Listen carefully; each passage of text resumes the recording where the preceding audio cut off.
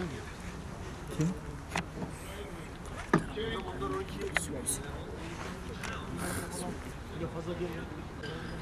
Sen Şahin.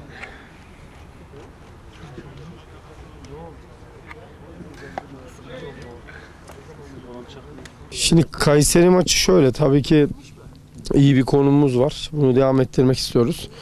Ya ama Kayseri maçı kolay bir maç değil. Şöyle bir, hiçbir kolay bir zaten hiçbir maç yok da Kayseri maçının durumundan dolayı e, zor bir maç olacak bizim açımızdan.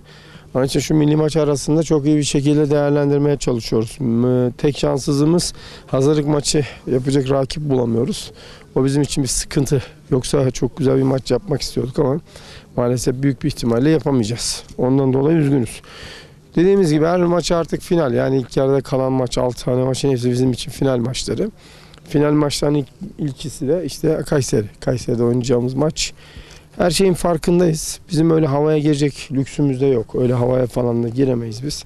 Biz tek şey bugüne kadar oynadığımız oyunu çok çok üstlerine çıkıp ligin ilk yarısını çok iyi bir yerde bitirmek istiyoruz. Tek düşüncemiz, tek gayemiz bu yani. Şimdi orada söylemeye bir şey yok. Önce tebrik ederiz. Yani zaten bu gruplar ortaya çıktığında birinci, ikinci, üçüncü belliydi. Öyle herkesin düşüncesi oydu. Bugün baktığınızda bütün kamuoyunun kendi kafasında kurduğu düşünce veya da düşündüğü şeyler gerçekleşti. İşte Fransa, Türkiye, İzlanda, Arnavutluk öyle gitti yani. İyi bir gruptu. Çıkmamız gereken bir gruptu. E, İyi oynadık. Son zamanlarda güzel de bir hava yakaladık. E, Son oynadığımız maç pek insanlara hoş gelmeyebilir ama çok iyi şekilde strateji uygulandı. O maçta beraberlikte yettiği için ona göre oynandı. O yüzden tebrik ediyoruz. Şimdi önemli olan tabii ki e, Avrupa Şampiyonası ama bu gruplarda oynadığımız gibi rakiplerle oynamayacağız. Çok zorlu, çok dişli rakiplerle oynayacağız. Onun için oralara da çok iyi hazır şekilde gitmemiz gerekiyor. E, Şenol Hoca zaten bu konularda şey tecrübeli. E, mutlaka takımımız da oralara daha iyi bir şekilde gidecek.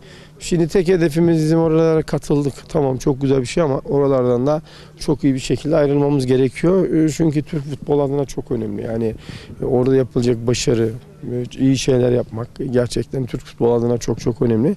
İnşallah onu da başaracağız. Böyle bir şey olduğunda normalinde bizim beklediğimiz şey federasyonun antrenörleri de toplayıp onlarla bir toplantı yapması bence çok çok önemli. Bizlerin de görüşlerini alması e, önemli, çok önemli. Eğer onları da yaparlarsa tabii ki daha güzel şeyler ortaya çıkabilir.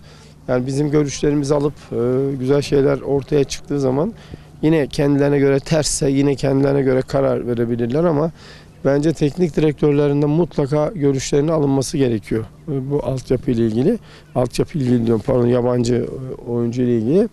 Çünkü yabancı oyuncuda e, illa ki 14 oyuncu almak zorunda değilsiniz. 6-7 tane çok kaliteli oyuncu alabilirsiniz.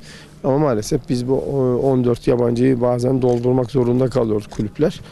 Bence o da zarar oluyor. Yani çünkü gelip yabancı arkadaşlarımız burada oturduğu zaman iyi bir şey olmuyor. Biz yabancıya karşı kesinlikle değiliz tabii ki.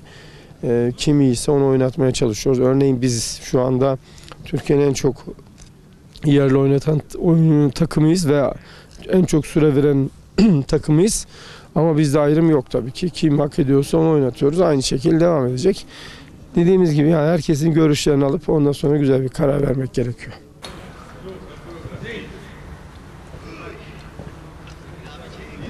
Var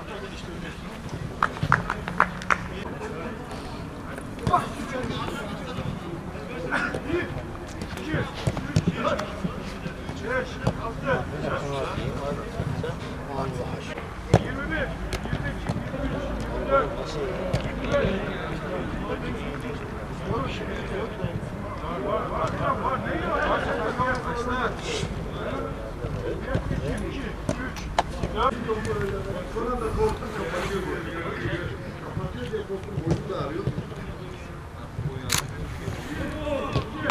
Biliyor musun?